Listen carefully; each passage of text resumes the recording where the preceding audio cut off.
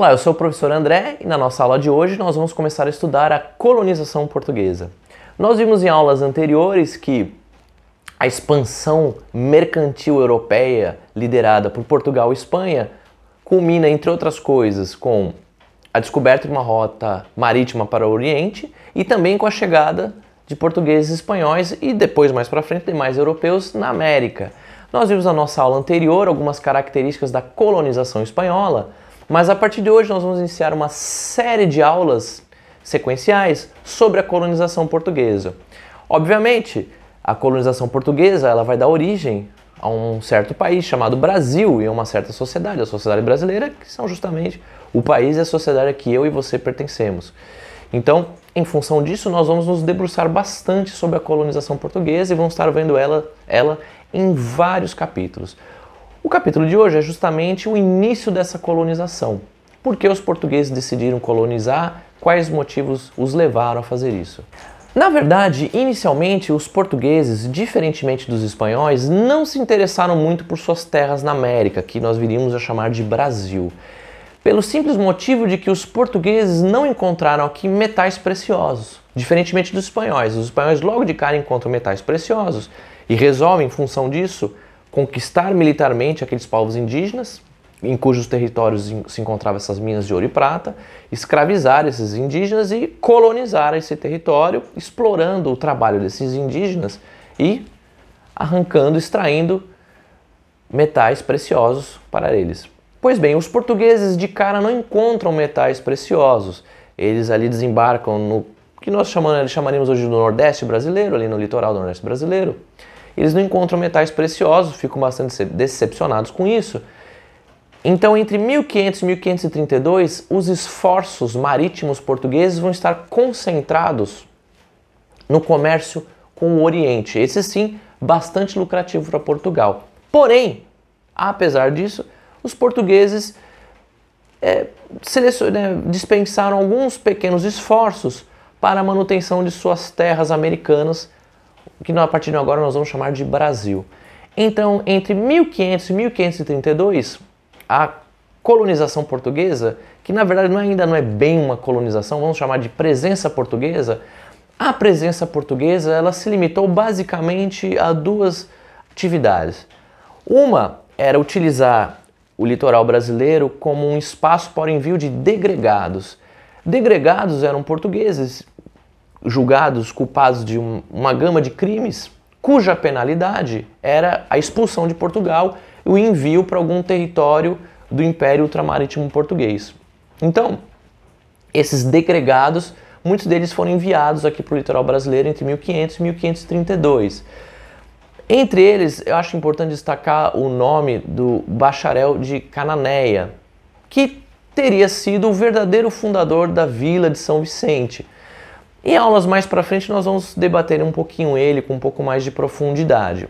Ele no caso, é, acredita, nós, nós, não temos muitas evidências documentais, mas acredita-se que ele era um, um, um, judeu e por questões de perseguição religiosa foi obrigado a abandonar Portugal, né, enfrentar o degredo. Mas ele, assim como outros portugueses degregados, se estabeleceram aqui no litoral brasileiro entre 1500 e 1532.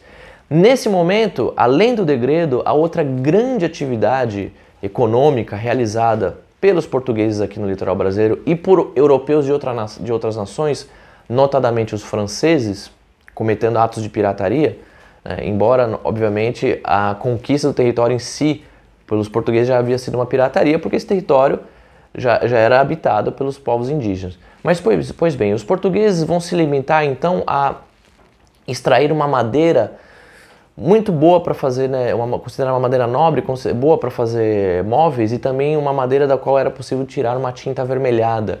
Essa madeira era o pau-brasil, que existia em largas quantidades no litoral brasileiro e essa, aliás, é essa madeira que deu origem ao nome do nosso país.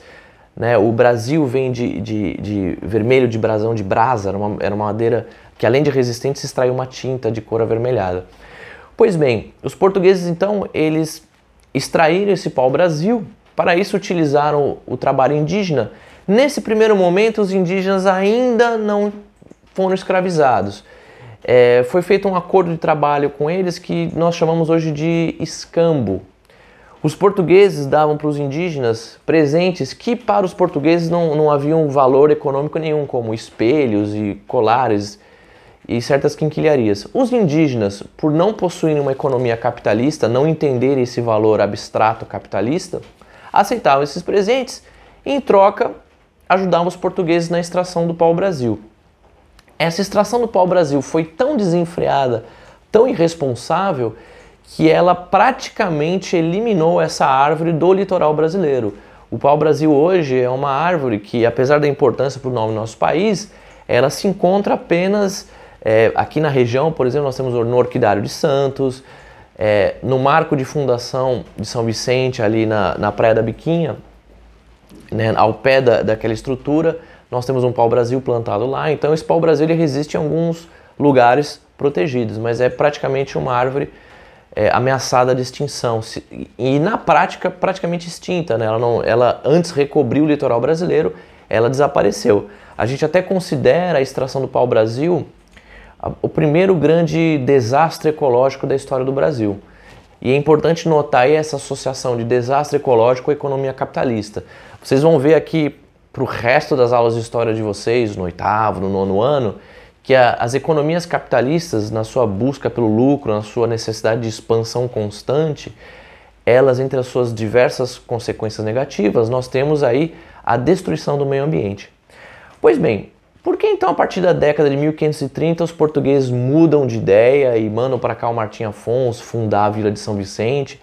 Por que, que a partir de 1532 os portugueses, assim como os espanhóis, decidem colonizar efetivamente suas terras na América? Entre 1500 e 1530, a principal atividade econômica do Império Ultramarino Português foi o comércio com o Oriente. Num primeiro momento, os portugueses tinham praticamente um monopólio desse comércio, só eles faziam esse comércio, então eles conseguiam grandes lucros. Mas com o tempo, outras nações europeias, franceses, ingleses, espanhóis, passam a utilizar as rotas marítimas utilizadas pelos portugueses e passam a competir com os portugueses nesse comércio oriental. Essa competição vai diminuir os lucros portugueses, levando Portugal a uma crise econômica. Na tentativa de sanar essa crise econômica e também de consolidar a sua presença no litoral brasileiro ameaçada pela pirataria de franceses, ingleses, espanhóis, os portugueses decidem então colonizar o Brasil para garantir a sua soberania nesse território e também a partir dessa colonização estabelecer uma atividade econômica que gerasse lucros capazes de substituir os lucros do comércio oriental. Essa atividade econômica escolhida foi justamente a, o cultivo da cana-de-açúcar com o objetivo de se produzir o açúcar. O açúcar era um artigo de luxo na Europa, que era obtido no comércio oriental, diferentemente de hoje, que a gente qualquer supermercado tem açúcar, naquela época o açúcar era um artigo de luxo.